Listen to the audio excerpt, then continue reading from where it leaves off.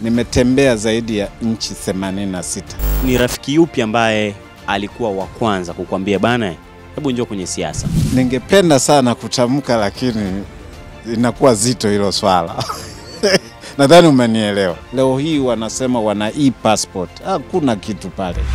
Akanozi, dad, do you think if you become an MP Kwenye hiyo nafasi ya ubunge rasmi ulijiunga nayo lini, mwaka gani? Nadhani ni mimi tu ambaye nimeshawahi kuwa naibu waziri, nina save mawaziri wawili, alafu bahati nzuri wote walikuwa wanawake.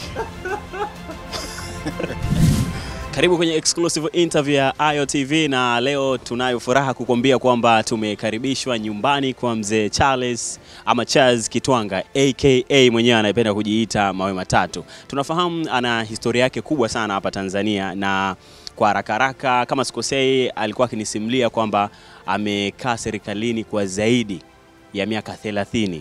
Can you imagine? Kwa maana hiyo amefanya kazi muda mrefu sana serikalini. Tuko nyumbani kwake na tunataka tufahamu kidogo historia yake, na huenda pengine kuna vitu vingi ambavyo ungependa pia wewe uvifahamu, na amewahi kuvifanya. Aliwahi pia kuwa, kuwa waziri kama ambavyo unafahamu, lakini sasa hivi ni mbunge wa kule Misungwi Mwanza na vitu vingine. Kwa hiyo leo tutafahamu kidogo historia yake na mambo mengine ambayo amekuwa akijishughulisha nayo mpaka leo. Hii ni Ayo TV na mimi naitwa Dula TZA.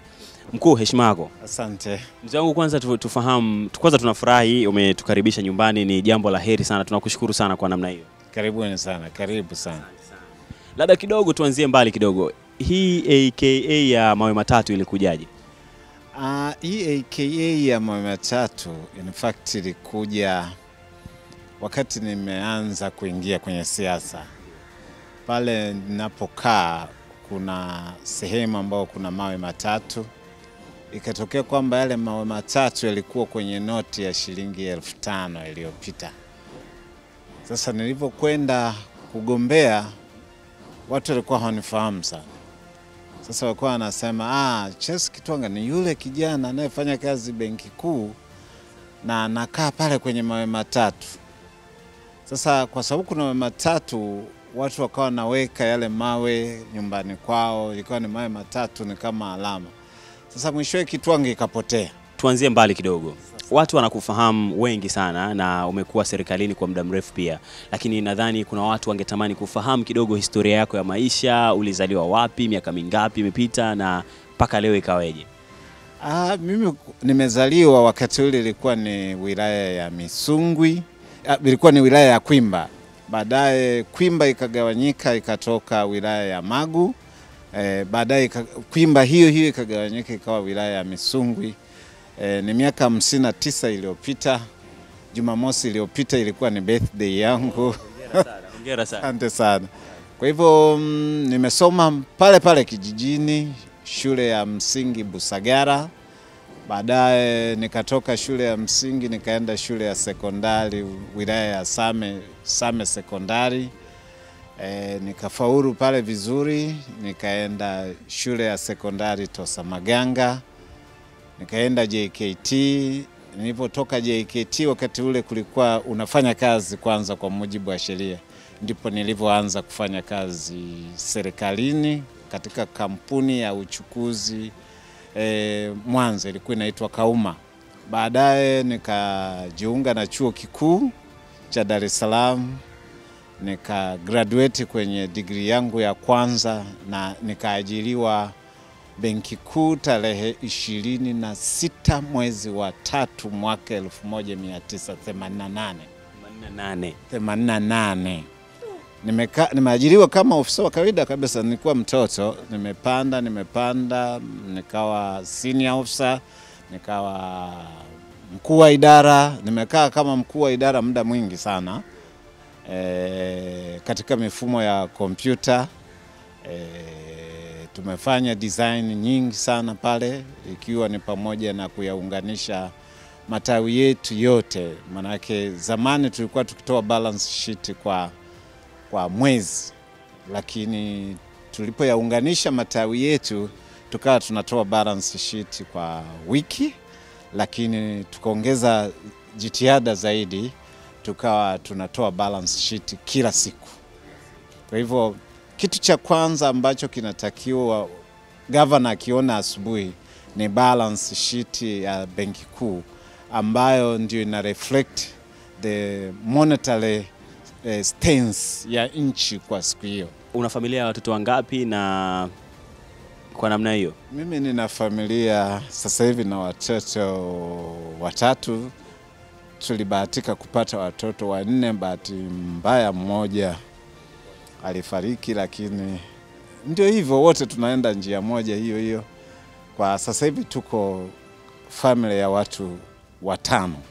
Umetokea kwenye familia ya aina gani na kwenu mko wangapi? Ah, nimefa, nimetokea familia ya baba mkulima, mama mkulima. Mimi wakati naanza shule nilikuwa nakaa nyumba ya nyasi, nalala kwenye kitanda kina godoro la pamba tumetengeneza wenyewe. Nilikuwa na kiatu hicho hicho kikiisha. Nilikozaliwa ni familia ile ile kabisa ambayo unasema ni familia ya watu maskini. Na kwenye familia yako wewe ni mtoto wangapi kwenu? Uh, mimi kwenye familia yetu mimi ni wa mwisho, Last born. the last born. Okay, na mko wangapi jumla? Uh, tumezaliwa wa- watatu na dada zangu wawili na mimi. Sawa mzee wangu. Kwa hiyo baada ya baada ya kuwa BOT sasa uka, uka ilikuwaje mpaka ukaamua kwenda kwenye siasa? Yaani hapo uli, uli shift vipi kutoka hapo kwenda kwenye kwenye siasa? Eh, ilikuwa mm, ngumu kidogo kuamua kwenda kwenye siasa, lakini kumbuke, mtu unapoishi unakuwa na marafiki, unakuwa na watu ambao wanakuambia wewe hapo umekaa mno, njoo huku utasaidia nchi zaidi, vitu kama hivyo.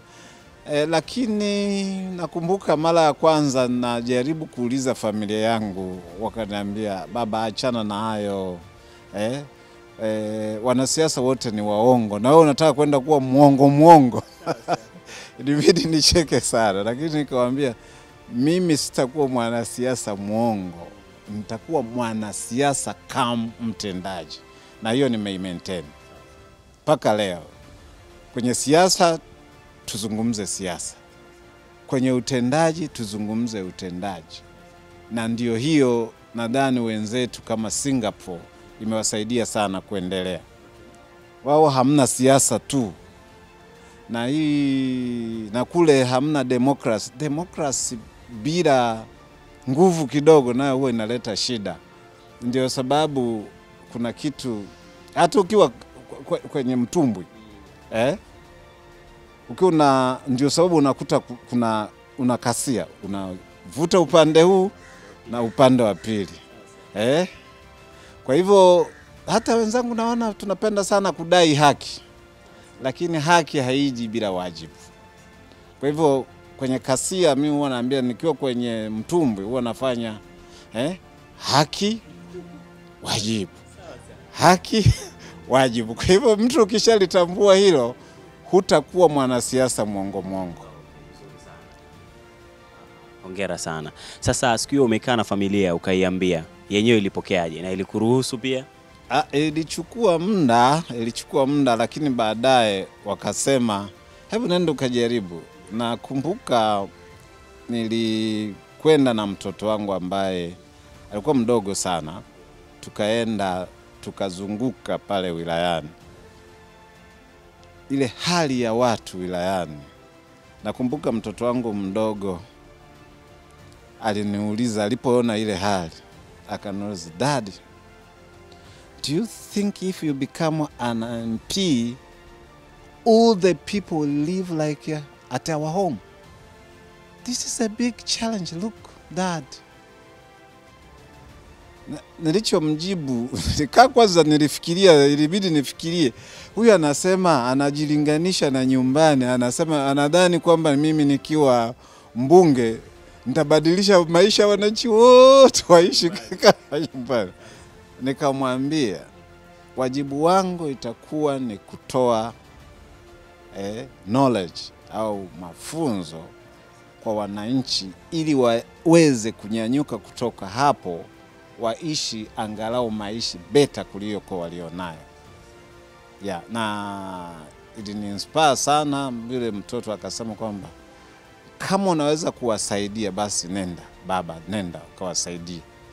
Mm.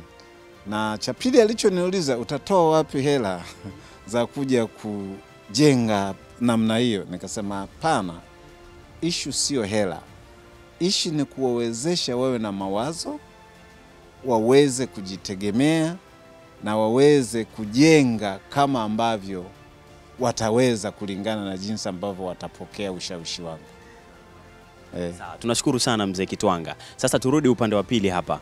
R- ah, ni rafiki yupi ambaye alikuwa wa kwanza kukwambia bana, hebu njoo kwenye siasa?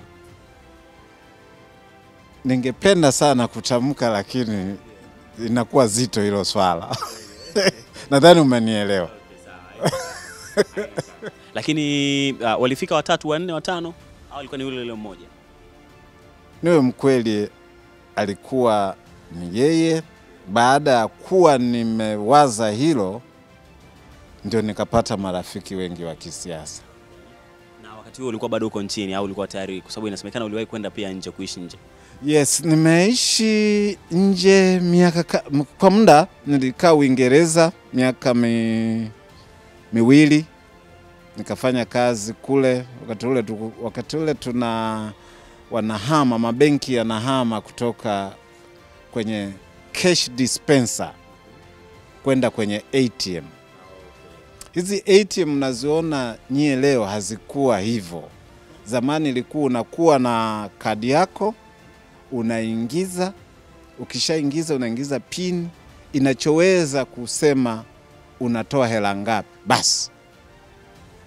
Sasa zilikuwa zinaitwa cash dispenser. Sasa ile kampuni nilikuwa nikifanya kule Uingereza ilikuwa na na tenda ya kubadilisha sasa zile cash dispenser kwenda kwenye hizi ATM. Nazungumzia hapo mwaka 1991 eh, zamani kidogo. Eh, eh, wakati ule. Eh, hapa Tanzania hakukuwa na cash dispenser wala hakukuwa na ndoto hata ya kuwa na ATM. Tunafahamu wewe ni mbunge wa na mimi ni mbunge wa Misungwi. Sasa hivi kwenye kwenye hiyo nafasi ya ubunge rasmi ulijiunga nayo lini, mwaka gani?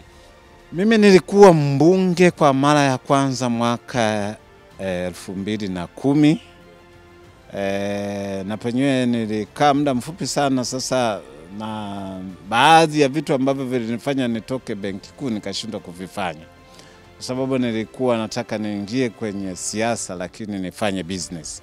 Nilikuwa nataka kwenda kwenye business zaidi eh, lakini nilivyochaguliwa tu ni kuwa mbunge nikateuliwa kuwa naibu waziri eh, wizara ya sayansi na teknolojia. Niliisevu mwaka mmoja, alafu nikahamishiwa eh, kuwa naibu wizara wa, wiz, um, ofisi ya makamu wa rais, na nadhani nadhani ni mimi tu ambaye nimeshawahi kuwa naibu waziri nina save mawaziri wawili, alafu bahati nzuri wote walikuwa wanawake. Hongera sana. Hajawahi kutokea. Ah, Sijawahi kusikia mwingine kwa sababu nilikuwa naibu waziri.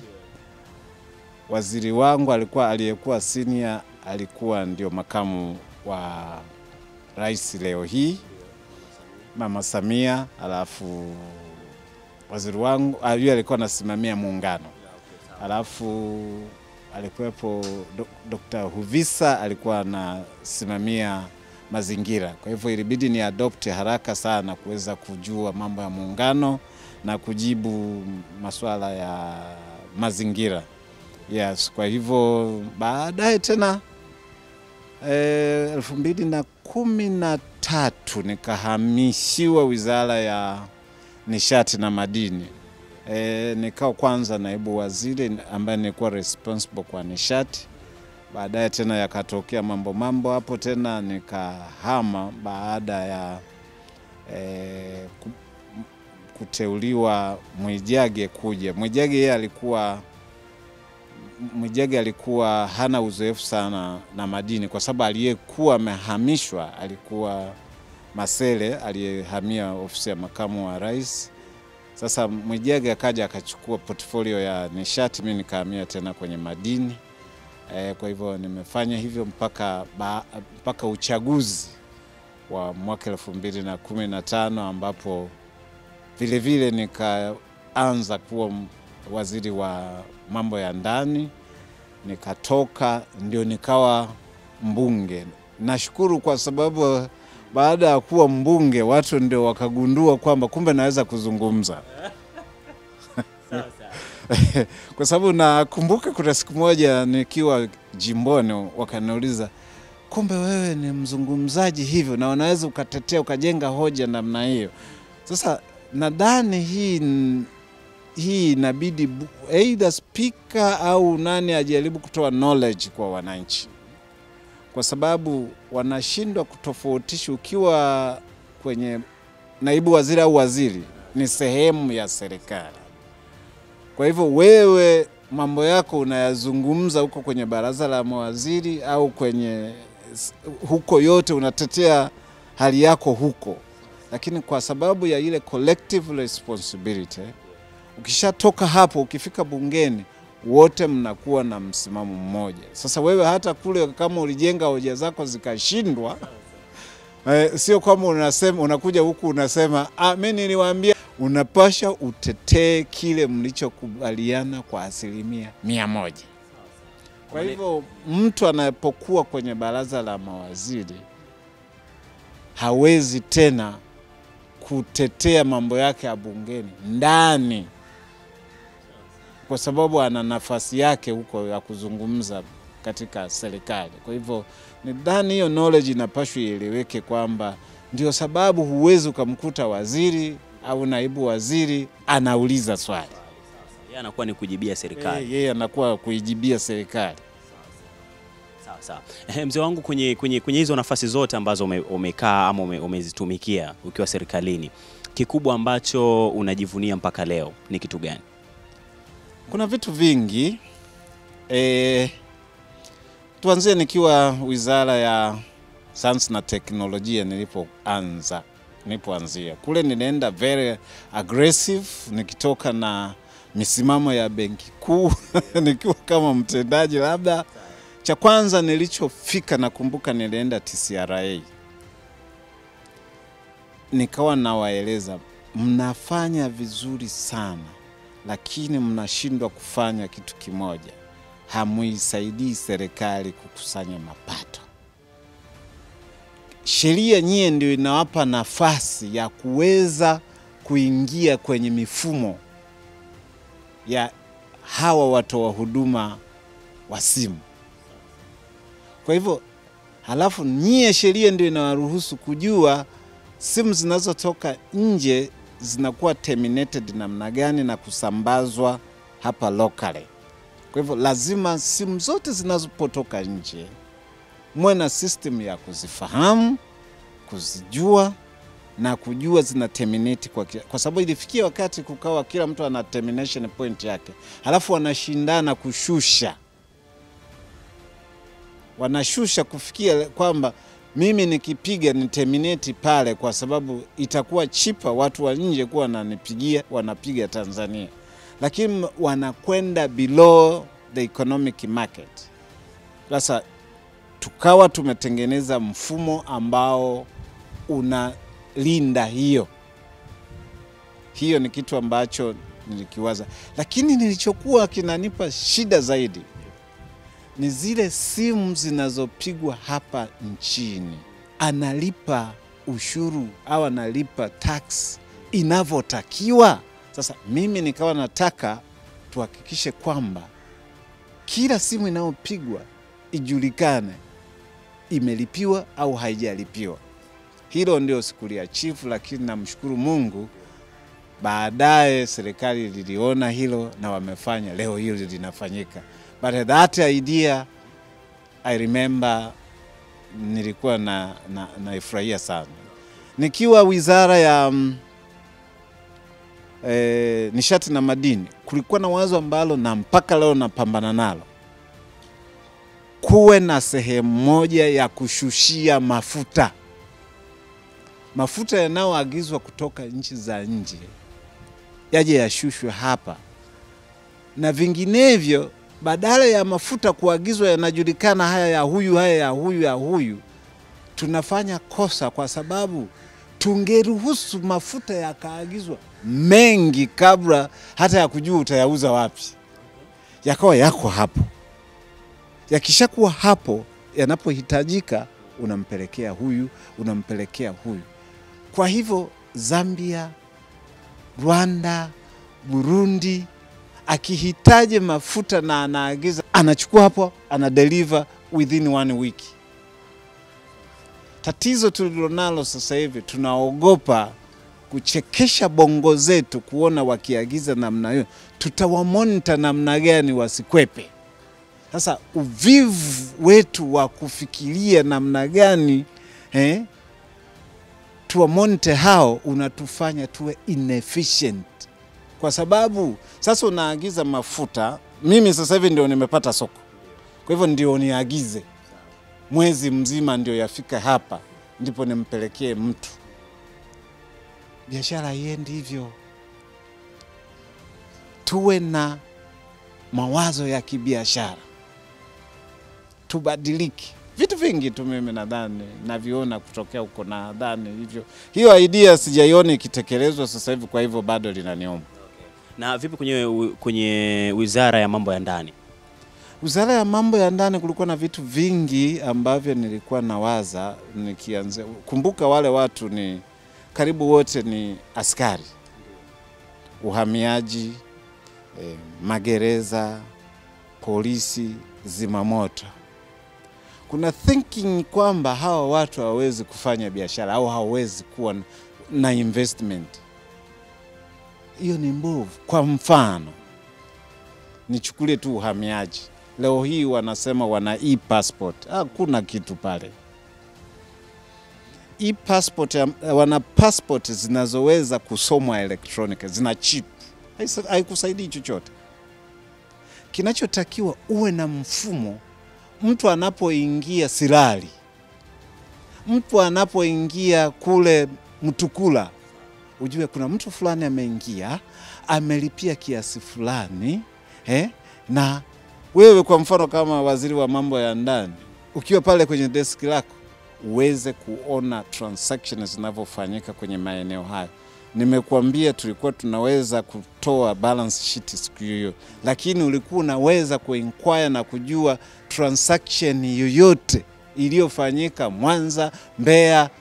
Wakati huo huo unaingiza hela kutoka TRA sasa hivi Treasury wanaweza kuona kwa sababu tuliwafungia terminal. Wanaweza kuona kwamba sasa hivi leo zimeshaingia kiasi gani kutoka benki kuu. Sasa hiyo ndio tulikuwa tukidhani, alafu tuna mipaka yetu ni mikubwa sana. Ehm, nilikuwa nikiwaza kwamba hivi ukiwa na drones zinazoruka kutoka mwanzo hapa mpaka mwisho, kwa mfano itokee Tanga mwisho huku inaruka kwenye mpaka wako mpaka inafika Sirari mwisho kule. Huna sababu ya kuweka askari kila mahala, teknolojia imebadilika. Kwa hivyo bado sana tuna tunabadilika, na vitu kama hivyo unaweza ukavifanya kwa PPP. Unatafuta mtu mwenye teknolojia, kwa sababu leo unakusanya mapato kidogo, unakubaliana naye mimi nitakuwa nachukua asilimia arobaini kwa miaka mitano, wakati wewe unarudisha labda investment yako, na wewe uchukue asilimia sitini. Investi huo mtandao leo, baada ya miaka mitano amesharudisha, mnageuza ili uendelee kumaintain na kunipa teknolojia mpya. Sasa mimi nachukua asilimia themanini, we baki na asilimia ishirini. Negotiate, fanya hivyo. Hiyo ni mfano tu wa, wa, wa nani. Alafu kingine ambacho nilikuwa na kiwaza, nilikuwa na kiwaza, Ha- Hayo yote ni mawazo ambayo ulitamani yafanyike ya- ya- yafanyike, lakini bahati mbaya yakufanyika. Uh, labda wapo na na- nadhani yatafanyika. Okay. I hope yatafanyika. Najua kuna watu, kuna waziri wa mambo ya- ya ndani ana brain na changamfu mm, anaweza akaruka ruka vizuri. Kwa hivyo na uhakika inavyozungumza hivi atayachukua, labda akiona inampendeza e, tukafanya Kuna namna ambavyo mnawasiliana hata kupeana ushauri Yes, kidogo? Yes, yes. De- de- de- kweli huwa tunawasiliana, akiwa na issues naeleza na mimi whoever, alafu sio tu waziri huyo, mimi waziri yoyote, exposure niliona mimi katika dunia hii nimetembea zaidi ya nchi 86.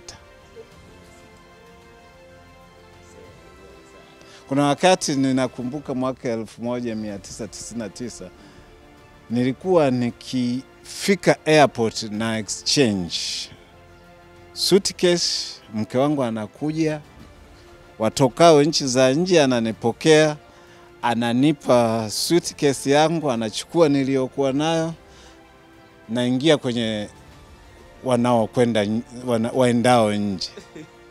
Nakumbuka kuna wakati mmoja kwa wiki mbili nilitembea all continents all continents kwa wiki hizi nilikuwa nalala kwenye ndege, lakini hiyo ni hard work, ni kutaka kusaidia tu nchi yangu. Kwa ni, ni nchi ambazo umetembea ni 86 86. Kuna nchi gani ambayo hujafika mpaka leo? na bahati mbaya sana sijawahi kufika Japan na huwa naambiwa ni ina, ina teknolojia sana, na nchi ingine ambayo sijawahi kufika kwa Afrika ni Nigeria. Very unfortunate. Nilikuwa naogopa, nilikuwa watu wakiniambia kwamba ukifika labda Lagos mnakimbia kwenda kwenye ndege kama mnakimbilia basi. Watu walikuwa nasema mambo ya ajabu ajabu tu, lakini baada ya kufanya utafiti nikakuta sio kweli. Mm. Sawa. Na mheshimiwa amini, mheshimiwa Kitwanga, labda pia utusaidie, wakati upo kwenye wizara ya mambo ya ndani, kuna tukio gani lilitokea au kitu gani kilifanyika na kilikusononesha sana ama kilikusikitisha mpaka leo ukilala huwa unalikumbuka hilo tukio? Huwa nakumbuka kulikuwa na matatizo ya tishio la ugaidi kwenye kwenye maeneo msitu huu wa kwetu kuanzia kisalawe kwenda huko, na tulifanya operation eh, sehemu za Tanga mpaka kwenye yale mapango ya Amboni kule. Ilikuwa kidogo inanipa wasiwasi sana, lakini kwa thinking tuliyokuwa nayo, nakumbuka Siro huyo alikuwa ndio kamanda wa, wa uh, kanda maalum, alikuwa very aggressive na alikuweko IGP was very intelligent though alikuwa very cool. Kulikuwa na combination, kwa hivyo kikubwa ambacho nadhani naweza kuwaza na kwamba sikuweza kuachieve timu timu niliyoitaka wakati ule nikawa nimetoka, lakini katika kikubwa vyote ambavyo nilitaka ni namna ya ku again kutumia teknolojia. Nilitaka miji mingi iwe smart cities.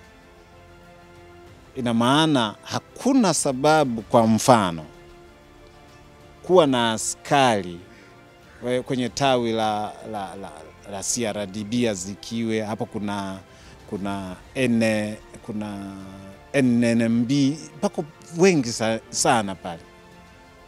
Unakuwa na mitambo ambayo ina monitor movement ya watu, na mtu anakuwa chini kule chini basement au somewhere kwenye chumba ana monitor, lakini kuna gari la rescue wenyewe wanasema la rescue ambayo linakuwa au la support lilipo karibu.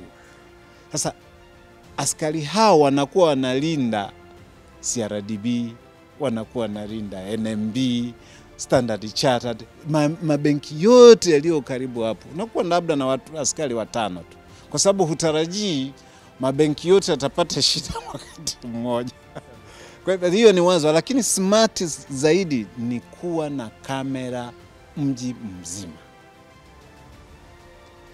Kule Manzese unakuwa na kamera ambazo zinaangalia kila kinachotokea Manzese. Pale CBD eh, unakuwa na kamera zinazoonyesha kila kari Kariakoo pale eh, Arusha, Mwanza, Moshi, Dodoma, kote nilikuwa na, na thinking hiyo, na watu wanafanya uharibu, uharifu sana na kama ungeweka tu kwamba kwa kila kosa atakalolifanya mtu anachajiwa shilingi elfu kumi au elfu tano kwa siku, utakusanya hela nyingi sana. Kwa hivyo huhitaji serikali invest on that.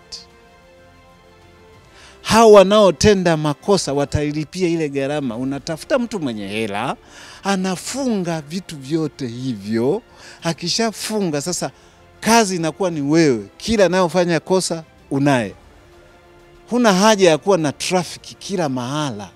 Unaweka kamera zinazo detect, unapita pale, umevuka pako red tap, Kama nchi za wenzetu kama nchi za wenzetu.